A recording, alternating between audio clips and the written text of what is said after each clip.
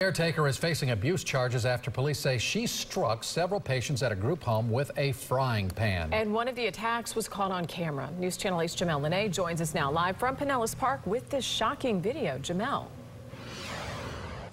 Well, good evening to you both. I can tell you that the two of those victims, they live in a group home on this street. Um, and also police say that this caretaker struck them in the head, the arms, and the hands. Darnica Martin is facing two counts of abuse. She was arrested for striking two mentally ill patients at a group home in Pinellas Park where she was a caretaker. Martin didn't know cameras were rolling when she lunged at one resident with a frying pan. The owner just happened to review his cameras over the weekend. He called the police and said, hey, I was reviewing my stuff, and when I looked at it, I saw one of my staff members striking one of the patients. In the video, you see the victim in the kitchen. Seconds later, Martin runs over holding a frying pan in her hand, yelling at the man to go sit down.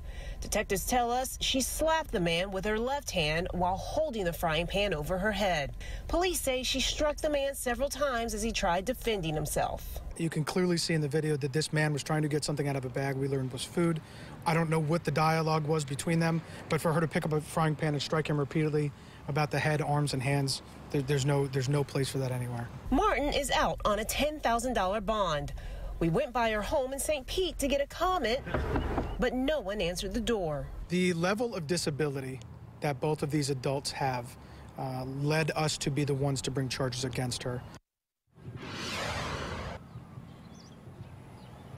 Now, we also tried getting a comment from someone at the group home. So when we knocked, although people were inside, no one answered the door.